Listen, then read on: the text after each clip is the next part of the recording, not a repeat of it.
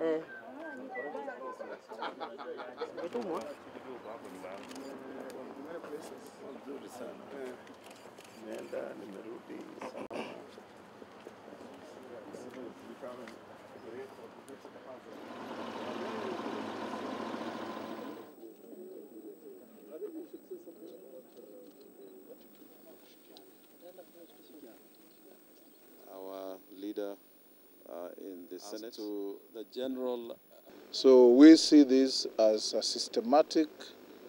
uh, manner of behavior, pattern of behavior by the state